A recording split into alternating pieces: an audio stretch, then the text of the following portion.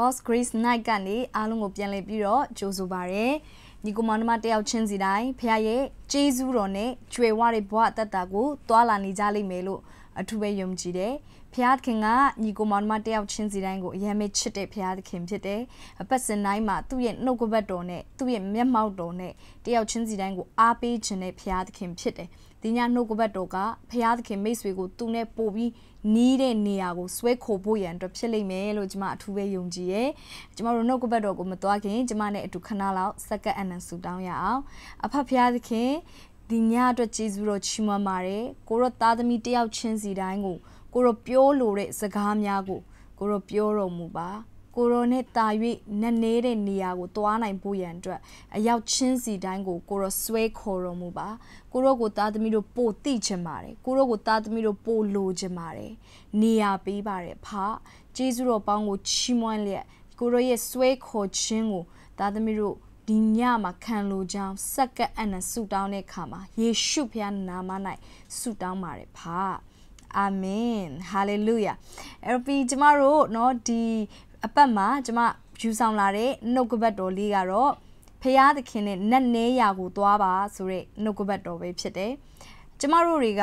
လူသားတွေဖြစ်တဲ့အတွက်ကြောင့်မို့လို့ကျမတို့ကိုဖရာကဖန်ဆင်းတဲ့အခါမှာတနေရာထဲမှာပဲကြာရှည်နေဖို့ရန်အတွက်မဖန်ဆင်းထားဘူးဖြစ်တယ်။ကျမတို့တွေကဒါကြောင့်မို့လို့တနေရာထဲမှာပဲကြာရှည်နေလို့ရှိရင်လူကညင်းငွေလာတယ်။အားလုံးပဲခံစားဘူးမှာပါ။ ကျမတို့တနေရာထဲမှာ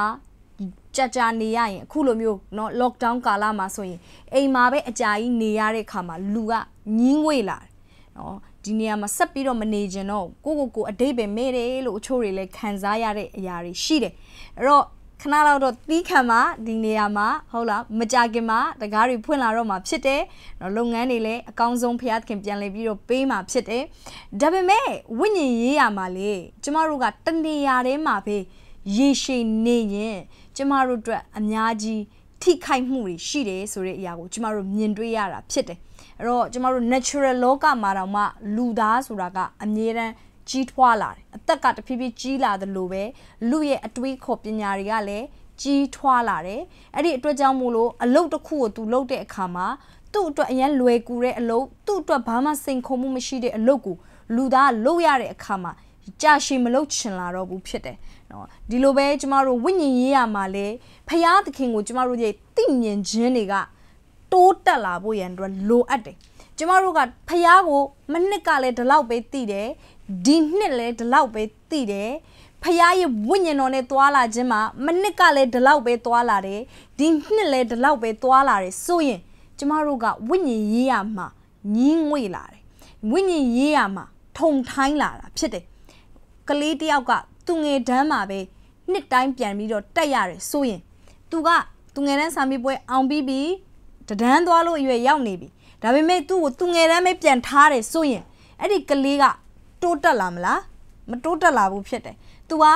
စာရီကလည်းသူ့အတွက်စိန်ခေါ်မှုမရှိတဲ့အတွက်ကြောင့်မို့လို့သူဟာဘာဖြစ်လာနိုင်လဲဆိုသူ့ရဲ့ဉာဏ်ရည်ကထုံထိုင်းလာနိုင်တာဖြစ်တယ်ဒီလိုပဲအချို့သောသူတွေကလည်းဝိညာဉ်ရေးရမှာထိုင်းမိုင်းလာတယ်ဝိညာဉ်ရေးရမှာတက်ကြွတောက်လောင်တင်တဲ့လောက်မတက်ကြွတော့တဲ့အရာတွေရှိတာတယ်နော်ဖရာသခင်နဲ့တွာလာခြင်းမှာအရင်ကစိတ်လှုပ်ရှားမှုမျိုးဟာငါဘာဖြစ်လို့အခုအဲ့ဒီလိုမျိုးစိတ်လှုပ်ရှားမှုတွေမရှိတော့တာလေစဉ်းစားတယ်သ င်ကကြဆင်းသွားလို့ဝိညာဉ်ရေးရမှာစိတ်လှုပ်ရှားမှုတွေမရှိတော့တာမဟုတ်ပါဘူးဖယားနဲ့ပတ်သက်ပြီးသင်ရဲ့တောက်လောင်မှုတွေယော့သွားတာမဟုတ်ဘူးဖြစ်တယ်ဒါပေမဲ့သင်ကဒီထပ်ပိုပြီးတိုးပြီးတော့သွားရမယ့်အရာကိုမသွားတဲ့အတွက်ကြောင့်မို့လို့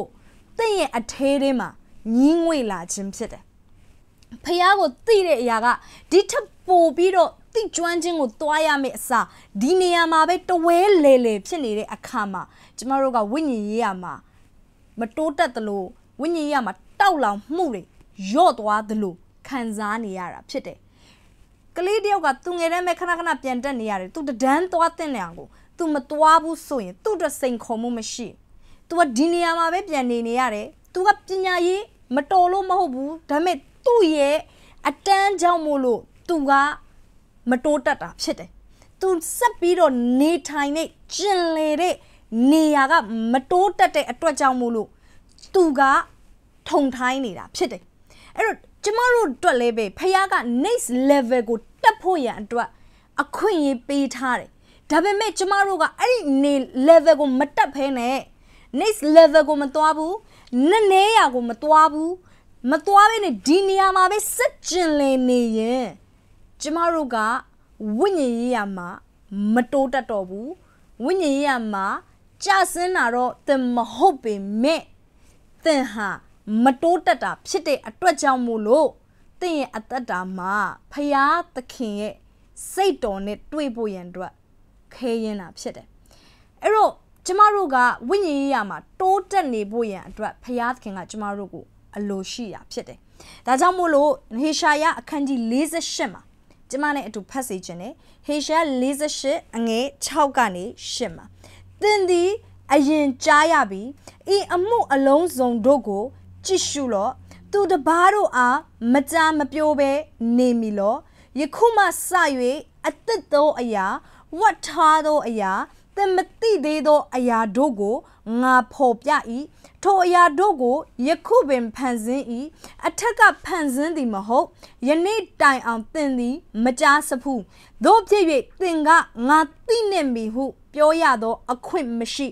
အကယ်စင်စစ်သင်သည်မကြားမသိစဖူးသင်ဤနားသည် အထက်ကမပွင့်အကြောင်းမူကားသင်သည်တစ္ဆာပြက်လိမ့်မည်ဖွာစားကပင်တင့်ကိုတပုံဟူ၍သမုတ်ရလိမ့်မည်ကိုငါ သိ၏အဲ့တော့ဒီမှာဘာပြောလဲဆိုတော့ဒါဣသရေလလူမျိုးကိုဖခင်က prophet Hishaya ကနေတဆင့် prophet ပြုတ်ခိုင်းတဲ့ကျမ်းစာဖြစ်တယ်ဖခင်ကဒီမှာဘာပြောလဲဆိုလို့ရှိရင်ယခုမှစပြီးအသက်သောအရာဝတ်ထားသောအရာသင်မသိသေးသောအရာတို့ကိုငါဖော်ပြ၏ဖခင်ကလူတွေကိုအသက်သောအရာအသက်သောအရာဆိုတာဘာလဲဆိုရင်တနည်းအားဖြင့်ပြောရမယ်ဆိုအရင်ကမဖြစ်ခဲ့ဘူးသေးတဲ့အရာ ဖယားသခင်ကကျမတို့အတွက်တခါမှမဖြစ်ဘူးသေးတဲ့အမှုတွေကိုပြုခြင်းတဲ့ဖယားသခင်ဖြစ်တယ်ဟာလေလုယာကျမတို့ဖယားသခင်ကအာကျမတို့ကိုအမြဲတမ်းစိတ်လှုပ်ရှားမှုတွေပေးနိုင်တဲ့ဖယားသခင်ဖြစ်တယ်ဒါကြောင့်ဖယားသခင်နဲ့တွားရတဲ့ခရီးစဉ်ကအမြဲတမ်းစိတ်လှုပ်ရှားစရာကောင်းတယ်လူဆိုတဲ့သဘောတဘာဝကစိတ်လှုပ်ရှားမှုကိုလိုချင်တယ်ဒါကြောင့်မို့လို့လေ လူတွေကစိတ်လှုပ်ရှားစရာကောင်းတဲ့ခရီးတွေကိုထွက်ကြတယ်စိတ်လှုပ်ရှားစရာကောင်းတဲ့ကစားနည်းတွေကိုကစားကျင်ကြတယ်နော်လူတွေကစိတ်လှုပ်ရှားမှုတွေကိုနေရာအမျိုးမျိုးမှာရှာဖွေကြတာဖြစ်တယ်ဘာဖြစ်လို့လဲဆိုတော့ဖခင်ကလူကိုစိတ်လှုပ်ရှားခြင်းနဲ့သူ့ရဲ့အထေးထဲမှာဖြည့်ပေးဖို့ရန်အတွက်ကွက်လက်တစ်ခုကိုထားထားလို့ဖြစ်တယ်ဖခင်ကဖန်ဆင်းကလေးကလူသားကိုစိတ်လှုပ်ရှားမှုကိုတောင်းတတဲ့စိတ်သဘောနဲ့ဖန်ဆင်းထားတာဖြစ်တယ်ဒါပေမဲ့အဲ့ဒီကွက်လက်ကို သူကပဲဖြည့်ပေးချင်တာသူကပဲအဲ့ဒီစိတ်လှုပ်ရှားမှုကိုပေးချင်တာဖြစ်တယ်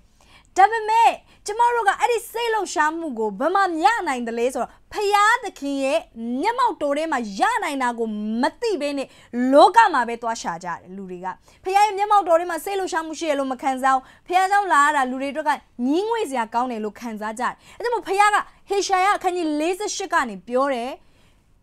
မဖြစ်ဘူးသေးတဲ့အရာ ငါပြုတ်မယ်တဲ့ဟာလေလုယာမဖြစ်ဘူးသေးတဲ့အရာကျမတို့တခါမှတော့မှမစင်စားဘူးသေးတဲ့အရာဒါပေမဲ့ဘမရှိတယ်လေအခုလက်ရှိရှိနေတဲ့နေရာမှာတော့မရှိဘူးအဲ့ဒါမို့အောက်မှာ तू ကဆက်ပြောတယ်လေဖယားခင်ကငွေ6မှာပြောတယ်ထိုအရာတို့ကိုယခုပင်ဖန်ဆင်းဤအထက်ကဖန်ဆင်းသည်မဟုတ်ယနေ့တိုင်အောင်တင်သည်မကြားစဖူးတို့ပြည့်၍တင်ကငါသိနှင့်ပြီဟုပြောရတော့အခွင့်မရှိဟေရှာ48အငယ်9မှာ အဲ့တော့တဘိုးကဘာလဲဆိုတော့ဖယားကငါသိနှင့်ပြီလို့မပြောနဲ့တဲ့အချို့လူတွေကအရင်ပြောတတ်တယ်နော်ငါသိတယ်ငါသိတယ်ဖခင်တကယ်အဲ့လိုလုပ်မယ်ဆိုတော့ငါသိပြီးသားပဲ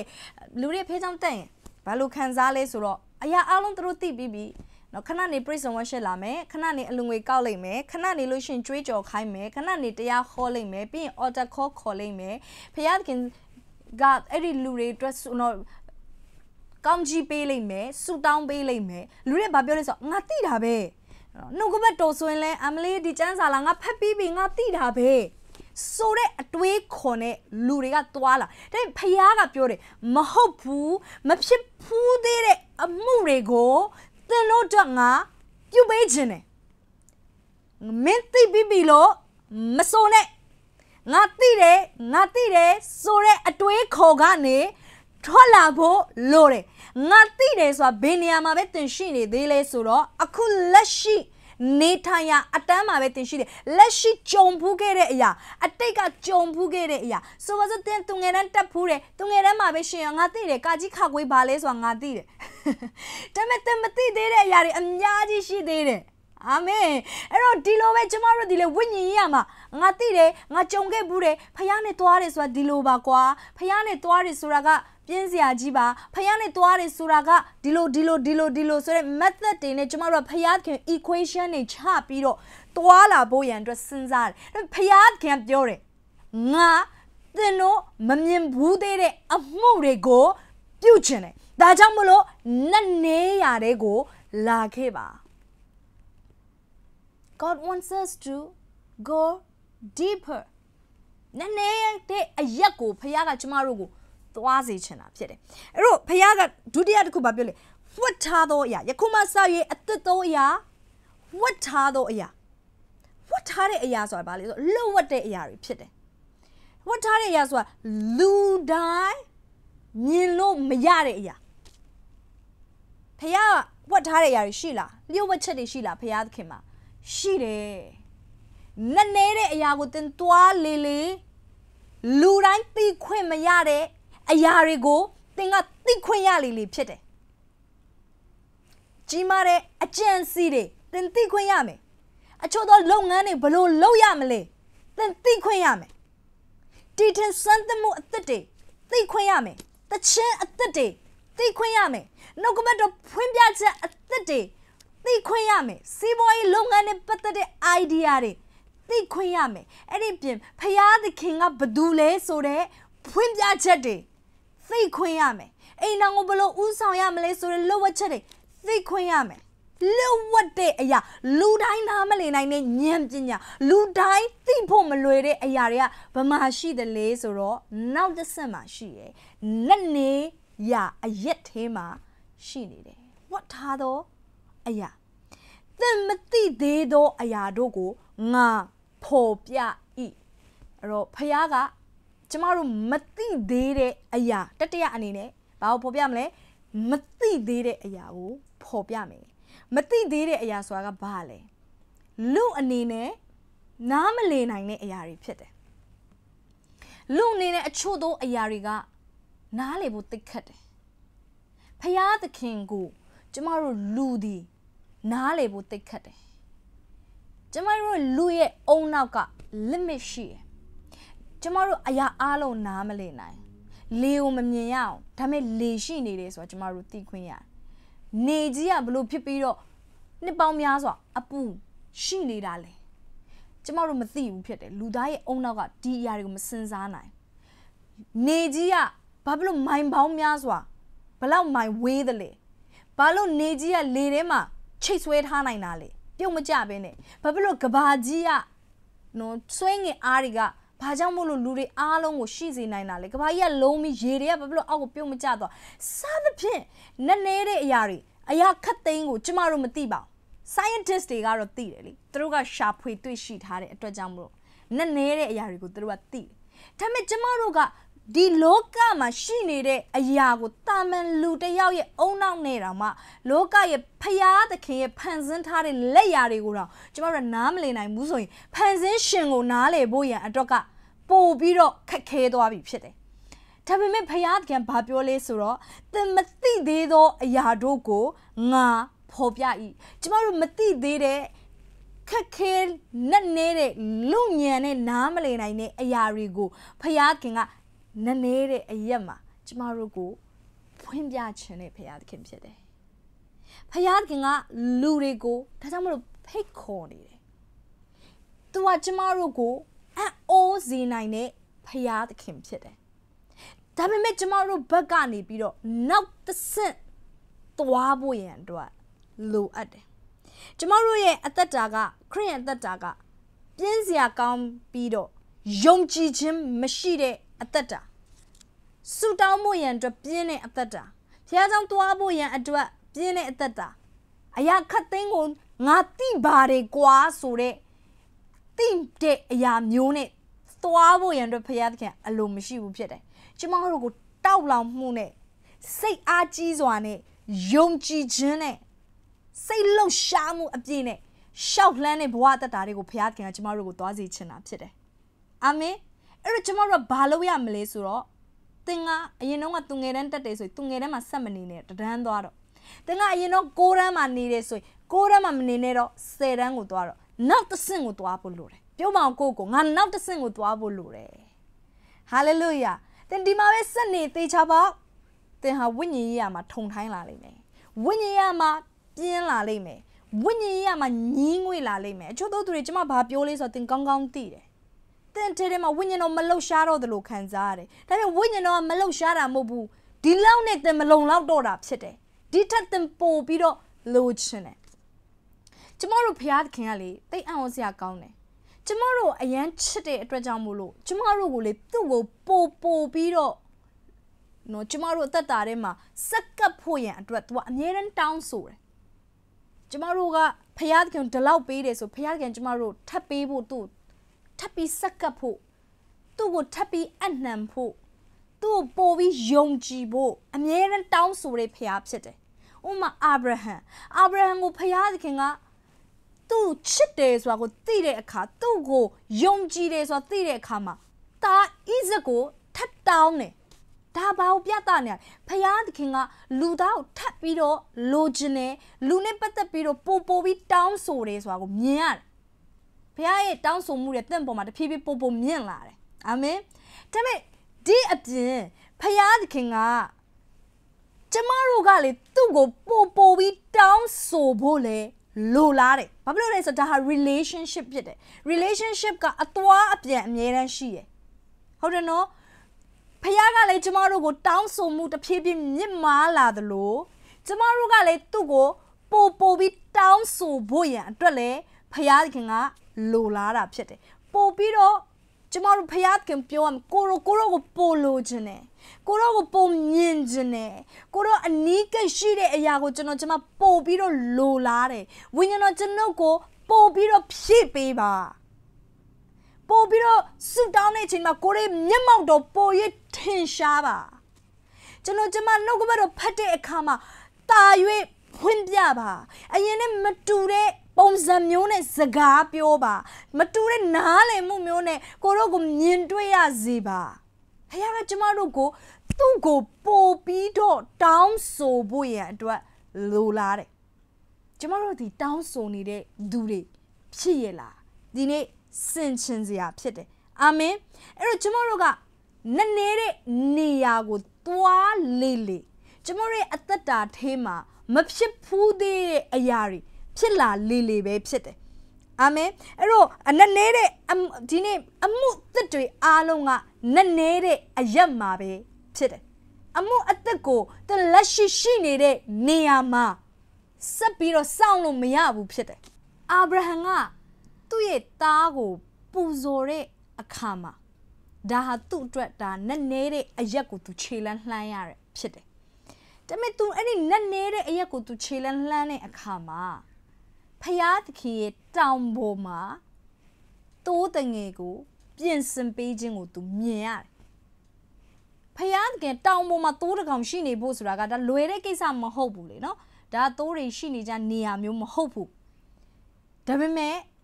ဖယားသခင်ကတောင်ပေါ်မှာသူ့အတွက်သီးသန့်သိုးကိုပြင်ဆင်ပေးထားတယ်။အဲ့ဒါကဘာလဲဆိုတော့သူဖယားသခင်ကိုယေဟောဝါရည်ရည်အနေနဲ့ ထောက်ပံ့ခြင်းအရှင်အနေနဲ့မြင်ဖို့ရန်အတွက်ဖြစ်လာတယ်။နည်းနည်းနဲ့နေရာကို သူခြေလန်းလှမ်းတဲ့အခါမှာမဖြစ်ဘူးသေးတဲ့အမှုအသက်တွေကိုသူ့ရဲ့ဘဝမှာအသက်ပြန်ပြီးတော့ခံစားရတာဖြစ်တယ်။ဟာလေလုယာ။အာဗြဟံကဖယားသခင်နဲ့ခရီးသွားတဲ့အခါမှာ तू အမြဲတမ်းစိတ်လှုပ်ရှားတယ်။ဘာကြောင့်လဲဆို तू နက်နေတဲ့အရက်ကိုအမြဲတမ်းခြေလမ်းလှမ်းနေလို့ဖြစ်တယ်။ဒီလိုပဲယာကုပ်ယာကုပ်ကဖယားကို တာမန်တိတဲ့လူတယောက်မဟုတ်ဘူးဖြစ်တယ်။ဖယားသခင်နဲ့ပုံမရင်းနှီးဖို့ရန်အတွက်တညမှာသွားပြီးဖယားနဲ့နပန်းလုံးနဲ့တညလုံးနပန်းလုံးနဲ့မိုးလင်းသည့်ထိတိုင်အောင်နပန်းလုံးနဲ့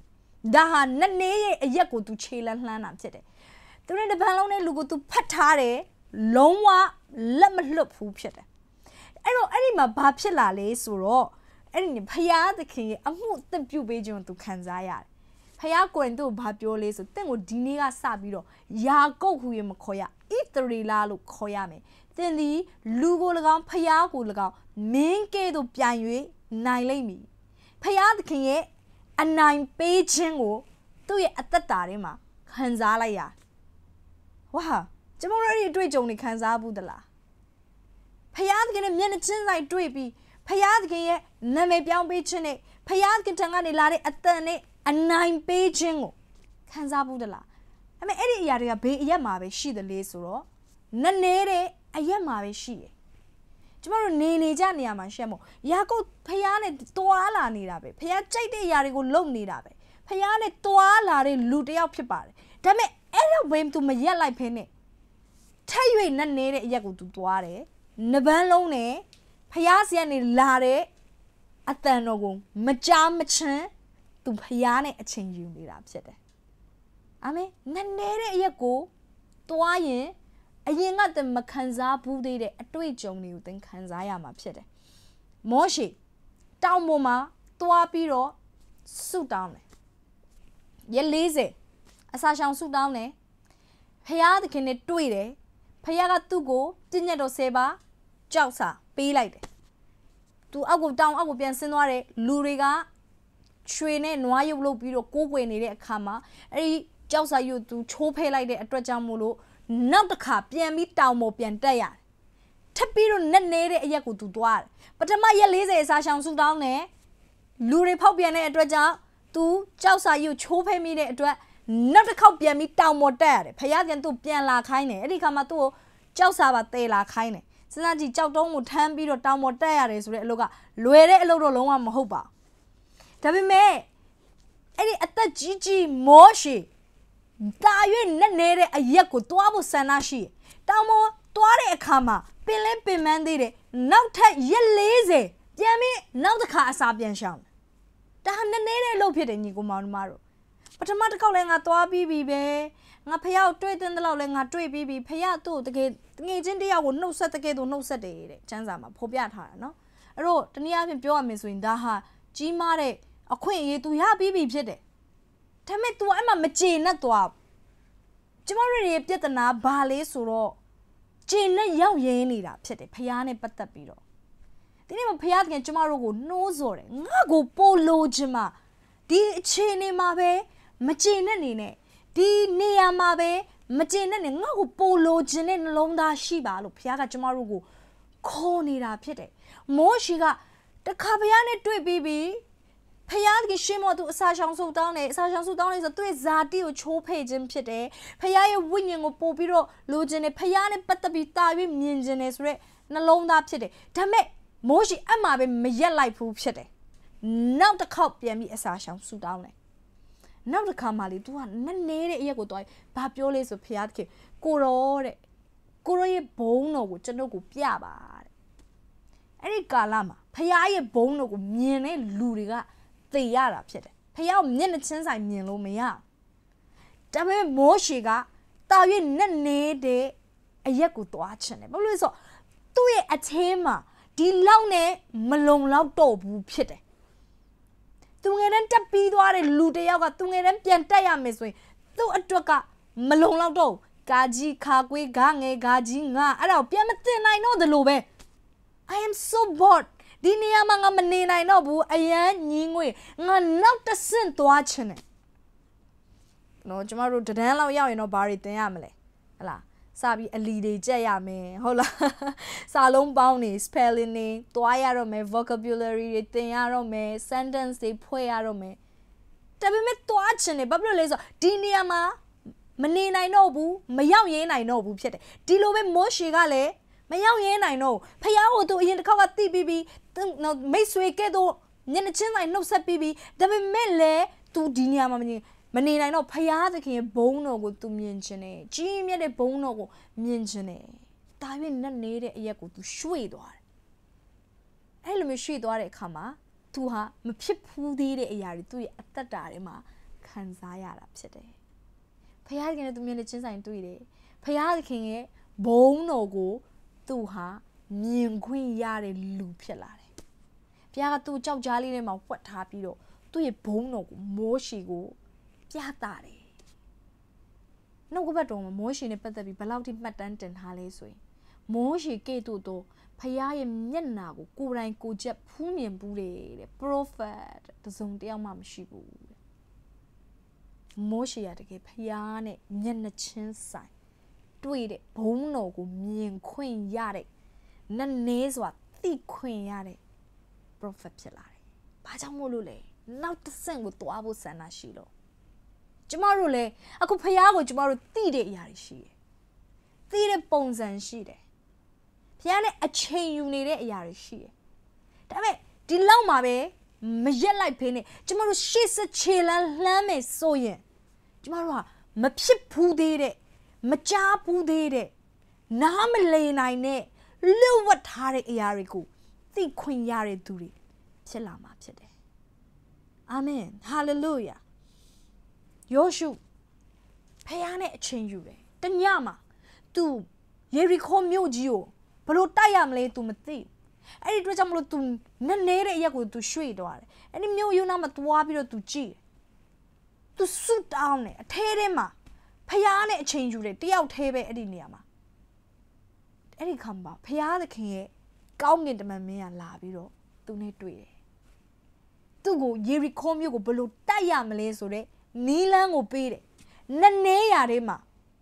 သူဟာတာမန်ဆူတောင်းရာကနေပြီးတော့ကောင်းကင်တမန်နဲ့ဆူတောင်းနဲ့ကောင်းကင်တမန်နဲ့တွေးလောက်တဲ့အထိဆူတောင်းနဲ့ဆူတောင်းချက်တွေကိုသူရွှေ့လာတဲ့အခါမှာဖျားခင်စီကနေလာတဲ့ strategy နီလန်တက်သူရရှိတာဖြစ်တယ်ယေရီခိုမြို့ကြီးကို ဒုတ်တွေဓားတွေနဲ့တွားပြီးသိမ့်ပတ်ရတာမဟုတ်ဖ ೇನೆ အတန်တိတ်နဲ့ပတ်ပြီးတော့နောက်ဆုံးသောနေ့မှာကြွေးကြော်ခြင်းနဲ့မြို့ရိုးကြီးကိုဖြိုချနိုင်ခဲ့တဲ့နီလန်းကိုသူဘယ်မှာရခဲ့တာလဲနတ်နေတဲ့အရက်မှာဖះနဲ့အချိန်ယူခြင်းအပြင်သူရခဲ့တာဖြစ်တယ်အဲကျမတို့ကနောက်တစ်ဆင့်ရွှေ့ဖို့လိုတယ်နောက်တစ်ဆင့်ကျမတို့မရွှေ့မချင်းကျမတို့ဘဝမှာလေအပြောင်းအလေးတွေဖြစ်လာဖို့ရန်အတွက်နီလန်းတွေ ကျမတို့နားလည်မှာမဟုတ်ဘူးဖြစ်တယ်ရွှေ့ရအောင်နောက်တစ်ဆင့်ဖះသခင်နဲ့တိကျွမ်းခြင်းကိုနောက်တစ်ဆင့် next level သွားရအောင် hallelujah ကျမတို့ညင်းငွေဖွေရကောင်းတဲ့ဘဝကိုအခုအချိန်မှာသွားနေရတာဖះကိုကျမတို့အပြစ်တင်ရမှာမဟုတ်ဖះကအမြဲတမ်းသူ့မျက်မှောက်တော်ထဲမှာကျမတို့ကိုကြိုဆိုနေတဲ့ဖះသခင်ဖြစ်တယ်ငါကိုခေါ်လို့ငါထူးမယ်လို့ဂရိပေးထားတဲ့ဖះ ရှာရင်တွေးမယ်လို့ဂရိပေးထားတဲ့ဖះဖြစ်တယ်တကားကိုခောက်ရင်ဖွင့်မယ်လို့ပြောထားတယ်အဲ့တော့ကျမတို့ဒီနောက်တစ်ဆင့်ဖះကိုမမြင်သေးတာကဖះဘက်ကမဖွင့်ပြလို့မဟုတ်ဘူးယာကုပ်ကတညမှာသူ့ရဲ့ဦးလေးလာပန်ရှိတဲ့မြို့ကိုတွားရင်းနဲ့လမ်းမှာသူအိပ်ပျော်သွားတယ်ကြောက်တုံးကိုခေါင်းအုံးပြီးတော့အဲ့ဒီဘေဒလာအရက်မှာသူဘာဖြစ်လဲဆိုတော့ဖះသခင်ကောင်းကင်ဖွင့်လက်တာကိုသူမြင်ရ ကောင်းကင်ဖွင့်လက်တဲ့ခါမှာကောင်းကင်ဘယ်နေတက်လိုက်ဆင်းလိုက်လုံနေတာကို तू တွေ့တယ်ဒီလိုမျိုး तू တွေ့လဲတွေ့ဘာပြောလဲဆိုတော့ဖယားသခင်ကတဲ့ဒီအရက်မှာရှိနေတယ်တဲ့ဒါပေမဲ့ရှိတော်မူကြောင်းကိုငါမသိခဲ့ဘူးတဲ့ဒီတော့ဖယားကနေရာတိုင်းမှာမရှိနေတာမဟုတ်ဘူးဖယားခင်ကနေရာတိုင်းမှာရှိနေတယ်ကျမတို့ရဲ့အနားမှာရှိနေတယ်ဒါပေမဲ့ပြဿနာက ကျမတို့ကဖယားသခင်ကိုမရှာတာဖြစ်တယ်နည်းနည်းစွာနဲ့မရှာဖယားရဲ့မျက်မှောက်တော်ကိုဂယုမပြုတ်ဘူးဖခင်ရဲ့မျက်မှောက်တော်ကိုမစာငတ်ဘူးဖခင်မျက်မှောက်တော်ကိုပို့ပြီးတော့လိုချင်နေဆိုတဲ့ဆန္ဒကျမတို့ထဲမှာမရှိတာဖြစ်တယ်အဲ့တော့ကျမတို့ဒါကြောင့်မညင်းငွေပွဲရကောင်းတဲ့ဘဝအသက်တာထဲမှာကျမတို့ကဖြတ်တန်းနေရတာဖြစ်တယ်ဝိညာဉ်ရမှာထုံထိုင်းမှုတွေဖြစ်တယ်စာငတ်မှုတွေကုံဆုံးနေတယ်ရှိသလောက်လေးနဲ့ ဂျင်နဲ့ရောက်ရဲနေတယ်ခမောညီကိုမောင်နှမတို့ဖခင်ပြန်ကျမတို့ကိုအလိုဖြစ်ဖို့အတွက်အလိုမရှိဘူး I have more for you တန်တော်ငါမှာထက်၍ရှိသေးတယ်ကျမတို့ကိုဖိတ်ခေါ်နေတဲ့ဖခင်ဖြစ်တယ်ဒီຢာလေးကိုကျမတို့ရေစကြည်လအခန်းကြီး40ခွန်မှာကြည့်မယ်ဆိုရင်ကျမတို့ရှင်းလင်းစွာနဲ့တွေ့နိုင်တာဖြစ်တယ်ရေစကြည်လကိုဖခင်သခင်ကသူ့ရဲ့ဗိမာန်တော်တွေကိုခေါ်သွားတယ်ဝိညာဉ်တော်အားဖြင့်ခေါ်သွားတယ် အဲ့တော့ယူပါယုံသူမြင်ရတယ် အဲ့ဒီထဲမှာ तू ကဘာဖြစ်လဲဆိုတော့အိမ်တော်ရဲ့ရစ်ပလင်ကို तू အရင်ဆုံးမြင်ရတယ်အိမ်တော်အထဲကရစ်ပလင်ကို तू တွေ့အဲ့ဒီအခါမှာအဲ့ဒီပလင်တော်ကနေပြီးတော့စီးစင်းလာတဲ့ရေတွေက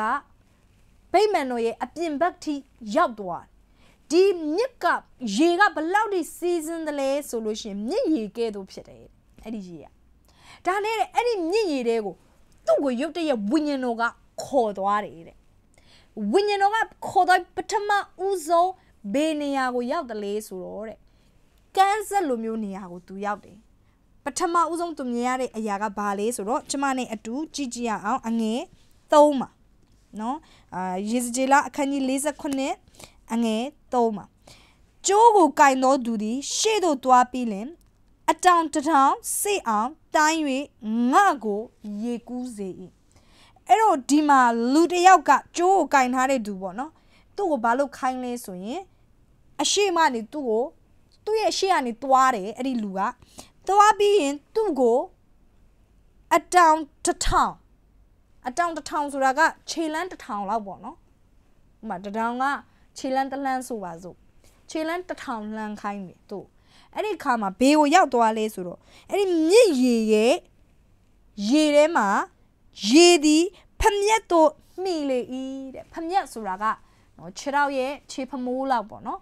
အဲ့တော့ခြေဖမိုးလောက်ကိုရောက်တယ်တဲ့ခြေလန်းတစ်ထောင်သူ့ကိုလှမ်းခိုင်းတယ်ဒီမကြည့်နော်အဲ့အိုးစရာကောင်းတယ်ဖယားသခင်ကကျမတို့ကိုလက်ရှိရှိတဲ့နေရာကနေနောက်ထပ်တနေရာကိုအမြဲတမ်းဆွဲခေါ်ခြင်းနဲ့ဖျားဖြစ်တယ်။ဝိညာဉ်တော်ကတနေရာထဲမှာတဝဲလေလေတဝဲလေလေမနေခိုင်းဘူး။သူ့ကိုကန်းဆက်ကနေ ခြေလန်းတထောင်လှမ်းခိုင်းတယ်။ဘေးထဲကိုရောက်သွားလေဝိညာဉ်တော်ရဲ့အထဲကိုရောက်လာတယ်။ဒါပေမဲ့ခြေဖမျက်ပဲရှိသေးတယ်။ခြေဖမိုးပဲသူမြုပ်သေးတယ်။အဲ့တော့အဲ့ဒီနေရာကိုတွားတဲ့အခါမှာဝိညာဉ်တော်ကသူ့ရဲ့အရှိကနေလမ်းပြတယ်ဒါပေမဲ့အမကျိုးကိုကင်နေသူဆိုဝိညာဉ်တော်ကိုပြောပြချင်တာဖြစ်တယ်အဲ့တော့ဝိညာဉ်တော်ကရှေ့ကနေလမ်းပြတယ်ဒါပေမဲ့ခြေလန်းလန်းရတာဘာလို့လဲယေစဂျီလာဖြစ်တယ် ဝိညာဉ်တော်သူခြီပြီးတော့ခေါ်သွားတာမဟုတ်ဘူးယေစဂျီလာကခြေလန်းလှမ်းရတာဖြစ်တယ်နာခံခြင်းနဲ့အနောက်ကနေလိုက်လို့တဲ့ဆန္ဒနဲ့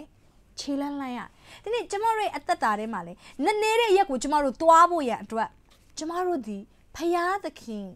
ရဲ့ခေါ်တန်ကိုကြားပြီးတော့ကိုယ်တိုင်ခြေလန်းလှမ်းရမှာဖြစ်တယ်ကိုယ်တိုင် next level ကိုတွားခြင်းနဲ့စိတ်ဆန္ဒရှိရမယ်ကိုယ်တိုင်ကနက်နေရကိုရွှေ့ရမှာဖြစ်တယ်ဖယားဘက်ကတော့ကျမတို့ကိုဖိတ်ခေါ်တယ်ကျမတို့ကရွှေ့ရမယ်အဲ့တော့ဒီနေရာမှာကျမတို့ဗာမြင်ရတယ်လေဆိုရင်ခြေဖမိုးထိပဲမြုပ်တဲ့နေရာကိုသူအရင်ဆုံးရောက်တယ်ဒါပေမဲ့ဖယားကသူ့ကိုအဲ့ဒီနေရာကနေနောက်တနေရာရွှေ့ခိုင်းတယ်ဘာကြောင့်မို့လို့လဲဆိုတော့ခြေပမိုးတိပဲမြုပ်တဲ့နေရာဆိုတာကဝိညာဉ်တော်ရဲ့အသေးမှာအနှဲငယ်သာနစ်မြုပ်သောနေရာဖြစ်တယ် အဲအနှဲငယ်သာနစ်မြုပ်တဲ့နေရာခြေပမိုးဆိုကျမတို့ကန်းဆက်တွေတွားလို့ရှိရင်ခြေထောက်လေးပဲမြုပ်တဲ့နေရာဆိုရင်ဒါကန်းအဆက်နားလေးမှာပဲရှိသေးတယ်ကန်းကြီးလေးမှာဟုတ်လားကန်းဆက်လေးမှာပဲရှိသေးတယ်ခြေပမိုးမြုပ်ယုံလေးอ่ะအဲ့တော့တနည်းအားဖြင့်ပြောရမယ်ဆိုလို့ရှိရင်ဒါဟာလောကနဲ့ကိုဝိညာဉ်ရေးရနဲ့ရောနှစ်ခုရဲ့ဂျားတွေကနေရာမှာပဲဖြစ်သေးတယ်သူဒီ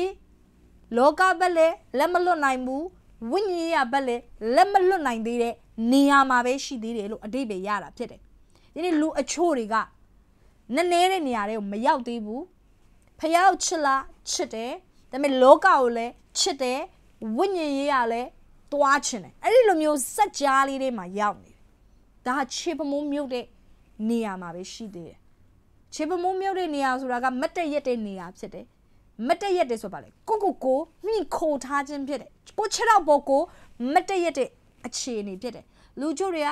ကိုကိုကိုမိခိုပြီးတော့သွားလာတဲ့အခြေအနေမှာပဲရှိနေသေးတာဖြစ်တယ်ပြီးတော့ချစ်ပမိုးပဲမြုပ်တယ်ဆိုတဲ့နေရာကအဝေးကြီးကိုမသွားလို့သေးဘူးလို့ပြောတာ ਨੇ အတူတူပဲကျမတို့လူချို့တွေကန်းဆက်မှာလမ်းမဲလျှောက်တယ်ဟလာချစ်ပွားလေးမြုပ်ယုံလေးပဲဘာလဲဆိုတော့ အဝေးကိုမသွားလို့သေးဘူးအဝေးကိုသွားရင်ပင်မမယ်ကကြီးကထများတယ်ရေဆိုတယ်ပြန်ပြီးတော့ရေတွေပြန်ချိုးရမယ်စသဖြင့်ပေါ့နော်ကကြီးကထအရင်များအဲ့တော့ချို့လူတွေကလည်းဝိညာဉ်ရမှာနည်းနည်းတဲ့နေရာမသွားလို့သေးဘူးခြေထောက်ကလေးမြုပ်ယုံလေးပဲနော်ဝိညာဉ်တော်စင်သက်ပါဆိုရင်လည်း နည်းနည်းပါးပါးပဲစဉ်သက်ပါဟုတ်လားနည်းနည်းတဲ့နေရာကိုတော့မသွားပြစေနဲ့အောင် ready မဖြစ်သေးဘူးကိုချတော့ပေါ်ကိုမတ်တက်ရက်ပြီးကိုကြိုက်တာလေးလဲကိုလှုပ်ချင်သေးတယ်ဆိုတဲ့အခြေအနေမှာပဲရှိနေသေးတယ်အဲ့နဲ့သူကအဲ့ဒီနေရာမှာရောက်တယ်ဒါပေမဲ့ဖယားတကယ်ကသူ့ရဲ့ဖယားရဲ့ဝိညာဉ်တော်ကသူ့ကိုဘာဆက်လုပ်လဲဆိုတော့အငယ်လေးမှာကြည့်မယ်ဆိုရင်တစ်ဖက်အတောင်တထောင်စိတ်အောင်တိုင်း၍ရေကူးစေပြန်လင်ရေဒီဒူးကိုမှီလေ၏ တဖန်အတောင်တထောင်စိတ်အောင်တိုင်း၍ကူးစီပြန်လင်ရေသည်ခါကိုမိလေဤအဲ့တော့ဝိညာဉ်တော်ကသူ့ကိုဘာလို့ခိုင်းလဲဆိုနောက်တစ်ခြေလန်းတစ်ထောင်လှမ်းခိုင်းတယ်ကြည့်ဖခင်ကကျမတို့ကိုအမြဲတမ်းတာ၍နဲ့နေတဲ့အရက်ကိုဆွဲခေါ်နေတာဖြစ်တယ်ခြေဖမိုးလေးပဲမြုပ်ယုံလေးနေရာမှာပဲမနေစေချင်ဘူးဝိညာဉ်တော်ကိုအနှဲငယ်တည်ုံဘဝမှာပဲမနေစေချင်ဘူးနောက်ထပ်တစ်ဆင့်နောက်ထပ်နဲ့နေတဲ့အရက်ကိုသွားစေချင်တယ် နောက်တဲ့နေ့နေတဲ့အရက်မှာကြတော့ဘယ်လောက်ထိမြုပ်လာလဲဒူးထိမြုပ်လာဟောဒူးကနေပြီးတော့နောက်တဲ့နေ့နေတဲ့အရက်ကိုဆက်စင်းခိုင်းတယ်ခါထိမြုပ်လာတယ်ခါထိမြုပ်လာတယ်ဆိုရင်လူကတနည်းအားဖြင့်ပြောမှဆိုဒါတဝက်လောက်ရောက်လာပြီဇာတိကလည်းတဝက်လောက်တေးနေပြီဒါပေမဲ့အကုန်လုံးကြီးတော့မဟုတ်သေးဘူးဒါပေမဲ့ပို့ပို့ပြီးတော့ကိုကိုကိုယုံထွက်ဖို့ရန်တော့ခတ်နေပြီဖြစ်တယ် ကမ်းခြေမှာတော့လို့ကိုလွတ်လပ်သလိုကိုကြိုက်သလိုမျိုးလုပ်လို့ရတဲ့အခြေအနေမျိုးတော့မဟုတ်ဘူးဝိညာဉ်တော်ကအဲ့ဒီလူတွေရဲ့အသက်တာကိုအမြဲတမ်းထိမ့်ချုပ်ပြီးတော့လမ်းပြပေးတယ်ဒါကိုလုပ်ပါဟုတ်လားဒါလေးကိုလုပ်ဖို့ဖခင်ကနှိုးဆော်တယ်စသဖြင့်နှိုးဆော်မှုတွေနဲ့အတူတူအလုတ်လုတ်တက်တဲ့အရွယ်ကိုတင်တဖြည်းဖြည်းနဲ့ရောက်လာတယ်ဒါတင်နေနေတဲ့ရက်ကိုတင်တဖြည်းဖြည်းရောက်လာတာဖြစ်တယ်ဒါပေမဲ့ဝိညာဉ်တော်နှိုးဆော်ပေမဲ့လေကိုကြိုက်တာကိုပြန်လုံနိုင်သေးတယ် အခြေအနေမျိုးဖြစ်တယ်အဲ့ဒီအခြေအနေကခရိယန်တွေကျမပြောနေတာဘာလဲဆိုတာအချို့လူတွေသဘောပေါက်တယ်အချို့သောခရိယန်တွေကဝိညာဉ်တော်နိုးစော်တယ်ဒါပေမဲ့လည်းကိုမလွတ်ဘူးဆိုတော့ဆုံးဖြတ်ချက်ရှိထားရင်လည်းအဲ့ဒီဝိညာဉ်တော်ဘလောက်ပဲနှိုးစော်နှိုးစော်မလုပ်သေးဘူးဖြစ်တယ်နော်ကိုကြိုက်တဲ့အရာကိုပဲပြန်လှည့်ပြီးတော့လုပ်လို့ရသေးတဲ့အခြေအနေမျိုးဖြစ်တယ်တဖြည်းဖြည်းသင်ဟာနတ်နေလာလေလေတင်ဖះရဲ့ စကားကိုပို့ပြီးကြားတက်လာလေလေဖះကတင့်ကိုပို့ပြီးထိမ့်ချုပ်လာလေလေဖြစ်တယ်ပို့ပြီးတော့တင့်ကိုဖះသခင်ကအနိုင်ရလာလေလေပို့ပြီးတော့တိမ့်ပိုက်လာလေလေဖြစ်တယ်ဖះကကျမတို့ချုပ်ချေချင်တာမဟုတ်ကျမတို့ကိုပိုင်ဆိုင်ချင်တာဖြစ်တယ်ဘာဖြစ်လို့လဲဆိုတော့ကျမတို့သူချစ်လို့ဖြစ်တယ်ကျမတို့အကောင်းဆုံးဆိုတာဘာလဲဆိုတော့သိတဲ့အတွက်ကြောင့်ဖြစ်တယ်ဒီလိုပဲဖះခင်က ကျမတို့ကိုတာ၍နဲ့နေတဲ့အရက်ကိုရွှေ့ခိုင်းလာသည်ကျမတို့ကိုပို့ပြီးတော့သူထိန်းချုပ်ခြင်းလို့ဖြစ်တယ်လွှမ်းမိုးခြင်းလို့ဖြစ်တယ်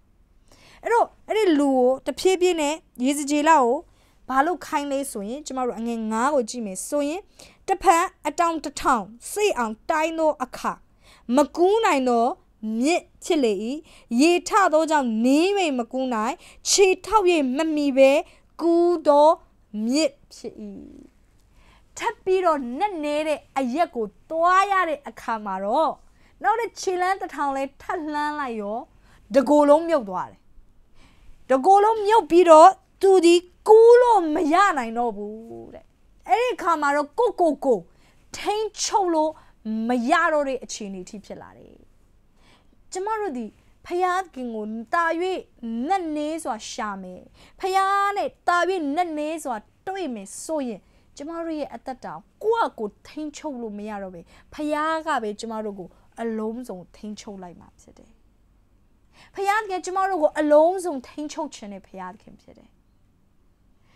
ကျမတို့ကိုကိုကိုပူပင်စရာမလိုတော့အောင်ကျမတို့ကို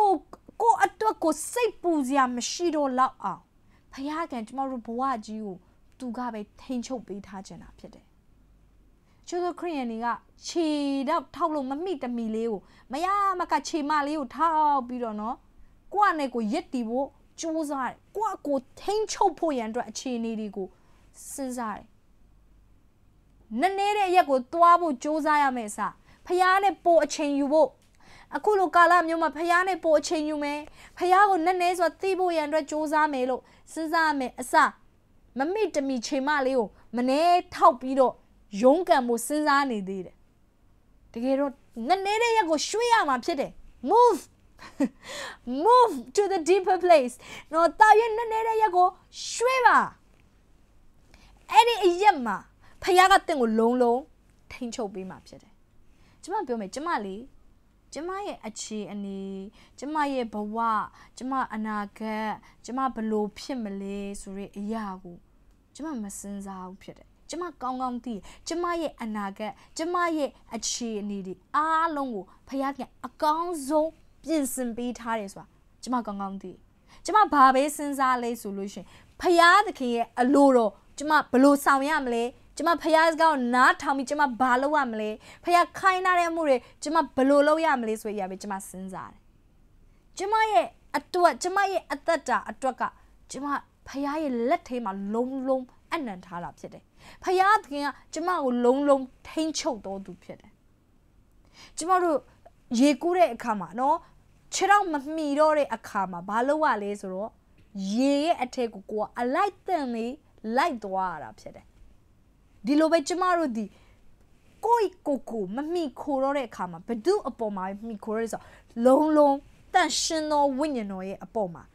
ဝိညာဉ်တော်ကမြင့်ရည်ဖြစ်တယ်ဟာလေလုယာ ကျမ်းစာထဲမှာမြင့်ရည်လို့ခိုင်းလိုက်တဲ့အခါခါတိုင်းမှာဝိညာဉ်တော်ကိုပြောနေတာဖြစ်တယ်အဲ့တော့အဲ့ဒီမြင့်ရည်ထဲမှာ तू ကူးသွားတယ်တဲ့ခြေထောက်နဲ့ तू မတက်မရက်တော့အဲ့ဒီမြင့်ရည်ရေအရှိန်အဟုန်စီးစင်းတဲ့အတိုင်း तू ဟာမျိုးပါသွားတာဖြစ်တယ်လိုက်ပါသွားတာဖြစ်တယ်ဒီဖခင်ကအဲ့ဒီလိုမျိုး ဘဝတွေကိုကျမတို့ကိုသွားစေခြင်းနဲ့တာ၍နဲ့နေတဲ့အရက်မှာကိုယ့်ကိုထိန်းချုပ်တာမဟုတ်တော့ဘဲနဲ့ကိုယ့်ရဲ့ဇာတိဆန္ဒတွေဥဆောင်မှုသွားတဲ့အတိုင်းလိုက်တာမဟုတ်တော့ဘဲနဲ့ဖခင်သခင်ရဲ့ဥဆောင်မှုဖခင်သခင်ရဲ့ခေါ်ဆောင်မှုအထဲတွေကိုလိုက်ပါစီစဉ်သွားတဲ့အသက်တာတွေကိုဖခင်သခင်ကျမတို့သွားစေခြင်းနဲ့ဒီဘယ်နှယောက်ကကိုယ့်အတွက်ကိုစိတ်ပူနေတယ်လေဘယ်နှယောက်ကကိုယ့်ရဲ့အနာဂတ်အတွက်စိုးရိမ်နေတယ်လေ မမိတမီခြေထောက်ကိုထောက်နေရတာအရင်ညောင်းနေပြီလားအသက်လူနီးပါနော်မနေ့ကိုစူးစမ်းပြီးတော့ယုံကန်နေရတဲ့ဘဝမှာတင်ရောက်နေတာလားအဲ့လိုမျိုးမလုပ်တော့ဘဲနဲ့ဒီနေ့ဖရာသခင်ရဲ့ထိန်ချုပ်ခြင်းဖရာသခင်ရဲ့လွှမ်းမိုးခြင်းကိုခံယူပါဖခင်ကတင့်ကိုထိန်းချုပ်လိုက်တယ်ဆိုတော့ဘာနဲ့တူလဲဆိုဖခင်ကတင့်ဖတ်ထားတာဖြစ်တယ် သင်ကိုယ်တည်းမသိတော့ဖခင်ကတင့်ကိုသူ့ရဲ့မေတ္တာကျေးဇူးတော်သူ့ရဲ့ဂရုတော်တော်နဲ့တင့်ကိုလွှမ်းမိုးပေးမှာဖြစ်တယ်ဖခင်ကစီမှာတင့်တော့ကောင်းတဲ့အရာတွေပဲရှိတယ် God is a good father အကောင်းဆုံးသောဖခင်ဖြစ်တယ်အဲ့တော့သူ့ရဲ့ကောင်းမြတ်ခြင်းတွေနဲ့ကျမတို့ကိုလွှမ်းမိုးပြီးသူ့ရဲ့ကောင်းမြတ်ခြင်းမြင့်ရည်ထဲမှာကျမတို့ကိုစီးဆင်းသွားစေချင်တာကျမတို့တာ၍နဲ့နေတဲ့အရက်ကိုရွှေ့ရအောင် ခြေပမိုးလေးပဲမြုပ်တဲ့ဘွားခါလောက်ပဲမြုပ်တဲ့ဘွားမဟုတ်တော့ပဲနဲ့တာ၍နဲ့နေတဲ့အရက်ကိုသွားရအောင်တာ၍နဲ့နေတဲ့အရက်ကိုကျွန်တော်ကျမဘယ်လိုသွားနိုင်မလဲတာ၍နဲ့နေတဲ့အရက်ကိုတင်ဟာသွားခြင်းနေဆိုရင်တော့နံပါတ်1အနေနဲ့သင်ဆုံးဖြတ်ချက်ချဖို့လိုအပ်တယ်ငါသူငယ်တန်းမှာပဲငါဆက်မနေတော့ဘူးငါအခုလက်ရှိနေရာမှာပဲငါဆက်မနေတော့ငါဒီလောက်ပဲဖះနဲ့အချိန်ယူတယ်ငါဒီလောက်ပဲဖះကိုတည်တယ်ဘဝကနေပြီးတော့ ငါတိတက်ပို့ပြီးဖះကိုတည်တယ်ဘဝကိုငါသွားမယ်အဲ့တင်ပါပါလာပြီလေဆိုတော့ဆုံးဖြတ်ချက်ပါလာဖြစ်တဲ့တဲ့အထဲထဲမှာမတွေ့မချင်းရှာမယ်ဆိုတဲ့စိတ်ပိုင်းဖြတ်မှုပါလာပြီဖြစ်တယ်ငါဒီညဖះနဲ့အချိန်ယူရဲငါဖះကိုတွေးအောင်ရှာမယ်ငါဖះရဲ့အတန်ကိုကြားတဲ့အထိနားထောင်မယ်မို့ရင်ကျမတို့ကဖះက9မိနစ်အချိန်ပေးမယ်နော်9မိနစ်အတွင်းမှာပြောမပြောရင်လည်းသွားတော့မယ် အဲ့လိုမဟုတ်ဖေးနဲ့ကျမတို့နဲ့နေတဲ့ရက်ကိုသွားတယ်ဆိုတာမတွေ့တွေ့အောင်ရှာခြင်းဖြစ်တယ်အာမင်အဲ့တော့ကျမတို့ကိုရောနဲ့ဆိုင်ရအရက်ကိုဆွဲခေါ်ပါကျွန်တော်ကျမတို့သွားခြင်းနဲ့ပို့ပြီးတော့သင်တောင်းတမှုစာငတ်မှုကိုဖော်ပြရမယ်ဖရာသခင်တွေ့အောင်ရှာရမယ်ဖရာ45မိနစ်ကြာရင်ကြာမယ်ဒါပေမဲ့သင်ကအချိန်ကအရေးမကြီးတော့ဘူးသင်တို့ဘာအရေးကြီးရလဲ နည်းနည်းရအရက်ကိုသွားဖို့ဖြစ်တယ်နည်းနည်းရအရက်ကိုသွားတယ်ဆိုတာအချိန်ကြာကြာသွားတယ်လို့ကျွန်မမဆိုလို့အချို့တွေကနှစ်နာရီလောက်ထိုင်ပြီးအိတ်ငိုက်နေတဲ့လူလည်းရှိရဆိုတော့ဆူတောင်းတာမို့အိတ်ငိုက်နေတာနော်အဲ့တော့အဲ့လိုမျိုးပြောတာမဟုတ်ဘာကိုပြောချင်တာလဲဆိုမတွေ့တွေ့အောင်အရင်တုန်းကနဲ့မတူတဲ့ပုံစံမျိုးနဲ့တွေ့အောင်ရှာခြင်းဖြစ်တယ်အာမင်ဟာလေလုယာပြီးတော့နောက်တစ်ခုအရေးကြီးတဲ့နောက်တစ်ခုကတော့ တင်တကယ်နတ်နေရကိုသွားခြင်းနေဆိုရင်နတ်နေရတနာမလေဖြစ်တယ်လမ်းကဘလို့လဲတင်မသိဘလို့သွားရမှာလဲတင်မသိဘူးဖြစ်တယ်ဒါပေမဲ့ကျမတို့အတွက် tour guide ရှိတယ်ကျမတို့ကိုလမ်းပြပေးမဲ့ tour guide ရှိတယ်လမ်းပြခေါ်ဆောင်ပေးမဲ့ဥပ္ပစေဆရာဒီဟုသောတန်ရှင်သောဝိညာဉ်တော်ရှိတာဖြစ်တယ်ထိုတန်ရှင်သောဝိညာဉ်တော်ကဖခင်ရဲ့နက်နေတဲ့အရက်သေးကိုကျမတို့ကိုဆွဲခေါ်ရမယ်သူက လမ်းပြသွားမယ်ခုနလူလိုပဲကြိုးကင်ထားတဲ့လူလိုပဲသူ့ပြောတယ်တထောင်နော်အတောင်တထောင်လမ်းလျှောက်ပါခြေလမ်းတထောင်ရှောင်းခိုင်းတဲ့သူ့ဒါဝိညာဉ်တော်ရဲ့ခေါ်ဆောင်မှုဖြစ်တယ်ဒါပေမဲ့ကျမတို့ဘက်ကတော့နာခံခြင်းနဲ့လိုက်ဖို့လိုတာပေါ့ဒါပေမဲ့ဝိညာဉ်တော်ကလမ်းပြမှာဖြစ်တယ်တထောင်ထက်ပုံမလန်းခိုင်းမှုဆုံးမချပါခြေလွတ်လက်လွတ်ဖယားတကယ်လွှမ်းမိုးတဲ့အထိ ခံယူဖို့အတွက်ဆန္ဒရှိပြီလားဆုံးမချပါဝိညာဉ်တော်ကကျမတို့စင်ရင်စီဘာလို့တောင်းမလဲလမ်းပြတော့မယ်အဲ့တော့ကျမတို့ကဘာလုပ်ရမလဲဝိညာဉ်တော်ရဲ့ခေါ်ဆောင်ရာနောက်ကိုလိုက်ရမယ်ဖယားနဲ့အချိန်ယူတဲ့အခါမှာကိုယ့်ရဲ့ခေါ်ဆောင်မှုနဲ့ပဲမတွားနေကိုယ့်ခံစားချက်ရဲ့ခေါ်ဆောင်မှုကိုယ့်ဇာတိဆန္ဒရဲ့ခေါ်ဆောင်မှုနောက်ပဲမလိုက်နဲ့ဝိညာဉ်တော်ရဲ့ခေါ်ဆောင်မှုနောက်လိုက်ပါကျမကကျမဖခင်နဲ့အချိန်ယူတဲ့အခါမှာကျမရဲ့ pattern ရှိတယ်ကျမတော့အရင်ဆုံး worship လုပ်တယ် ပြီးတဲ့အခါမှာကျမတော့အပြည့်ဝင်ချတောင်းပန်နေရကျမခွင့်လွှတ်ရမယ့်သူတွေခွင့်လွှတ်တဲ့အခါရှိရပြီးရင်ကျမနှုတ်ကပတ်တော်ဖတ်တယ်ပြီးရင်ကျမဆုတောင်းတယ်စသဖြင့်ကျမရဲ့ pattern ရှိရဒါပေမဲ့နက်လေးရအရက်ကိုတင်သွားခြင်းနေဆိုအဲ့ဒီအလေးမှာတင်ဘာကိုရှာရမလဲဆိုဝိညာဉ်တော်ကိုရှာရမှာဖြစ်တယ်ဝိညာဉ်တော်တင့်ကိုဘေးကိုခေါ်ဆောင်တယ်ဝိညာဉ်တော်ကိုတင်အကဲခတ်နေရမယ်ဝိညာဉ်တော်ဖះခေါ်ဆောင်တဲ့နောက်ကိုလိုက်တက်ဖို့လိုအပ်တယ်ဝိညာဉ်တော်တင့်ကို လမ်းပြသွားမှာဖြစ်တယ်သူ့ရဲ့အတန်ကိုကြားစေမယ်ခမည်းတော်ရဲ့အတန်ကိုကြားစေမယ်ဘာနဲ့တူတယ်လဲဆိုတော့နနေတဲ့အရက်ကိုသွားပါလို့ကျွန်မပြောတဲ့အခါမှာနေရာတနေရာကိုသူ့တွားခိုင်းတာမဟုတ်လူတယောက်ကိုတိအောင်လုပ်ခိုင်းတာဖြစ်တယ်။ဘာနဲ့တူလဲဆိုရင်သမိတ်ဆွေတယောက်နဲ့ခရီးသွားတယ်။အဓိကခရီးစဉ်ကဆိုပါစို့တင်ဂျပန်သွားတယ်ဆိုပါစို့ အဓိကခရီးစဉ်ကဂျပန်ကိုရောက်ဖို့ကအဓိကမဟုတ်အဓိကအဲ့ဒီအတူတူသွားတဲ့တငယ်ချင်းကိုပို့ပြီးတော့ယဉ်နီးဖို့ရန်အတွက်ဖြစ်တယ်။ဘာဖြစ်လို့လဲဆိုဂျပန်ကတင်းတဲ့တစ်သက်လုံးမလိုက်လာနိုင်ဘူးဖြစ်တယ်အချိန်တန်တဲ့နိုင်ငံကိုပြန်ရမယ်မြန်မာပြည်ကိုပြန်ရမယ်မလေးရှားကိုပြန်ရမယ်ဒါပေမဲ့တင်းနဲ့အတူတူလိုက်လာနိုင်မယ်သူကဘယ်လိုလဲဆိုအဲ့တငယ်ချင်းဖြစ်တယ်ဟုတ်လားမဟုတ်ဘူးလားဒီလိုပဲ ကျမတို့ဒီနတ်နေရတော့တွားပါလို့ပြောတဲ့ခါမှာဘေကိုတွားရမှာလေရေထဲခုံစင်းရမှာလားမောရှိလို့တောင်ပေါ်တက်ရမှာလားနနေရရဲ့တော့တွားဆိုနေရတနေရကိုပြောတာမဟုတ်ဘာလဲဆိုမိတ်ဆွေဖြစ်တယ်မိတ်ဆွေဖြစ်တဲ့တန်ရှင်သောဝိညာဉ်တော်ကိုပုံမူသိကျွမ်းလာဖို့ရန်အတွက်ဖြစ်တယ်အဲ့တော့တင်ဝိညာဉ်တော်ခိုးဆောင်တဲ့အရက်ကိုတွားလေလေဝိညာဉ်တော်နဲ့ experience များလာလေလေအတွေ့အကြုံတွေများလာလေလေသူနဲ့ပတ် သက်ပြီးပို့ပြီးတင်ဟာသိလာလေလေတင်ဟာနက်နေရတော့ရောက်လာလေလေပဲဖြစ်တယ်ဝိညာဉ်တော်နဲ့အချိန်ယူရတာကတင့်အတွက်နက်နေတဲ့အရက်ကိုတင်ဟာတွားလာနေခြင်းဖြစ်တယ် hallelujah အဲ့ဒီနေ့မှာကျမတို့ဆုံးဖြတ်ရအောင်တန်ရှင်သောဝိညာဉ်တော်ဖခင်ဟာကျမတို့ကိုလမ်းပြခြင်းနဲ့ဖခင်ဖြစ်တယ်ကျမတို့နားမှာအစင်မြဲရှိနေတဲ့မိတ်ဆွေကောင်းဖြစ်တယ်ဒီနေ့ grace night မှာ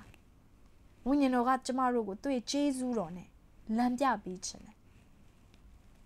ဒါပေမဲ့ကျမတို့ဘက်ကနောက်တစ်ဆင့်ကိုတွားဖို့အတွက်ဆန္ဒရှိလားလို့ဝိညာဉ်တော်ကကျမတို့မေးနေတယ်အချို့လူတွေကအရင်ဂျင်းနဲ့တွားပြီးဒီခြေနေမှာချို့လူတွေကလည်းနောက်တစ်ဆင့်တွားဖို့အတွက်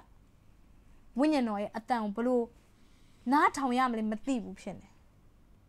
အချို့လူတွေကလည်းဝိညာဉ်တော်နဲ့မသွားလာတတ်ဘူးဖြစ်နေဒီနေ့မှာဝိညာဉ်တော်ကကျမတို့ကို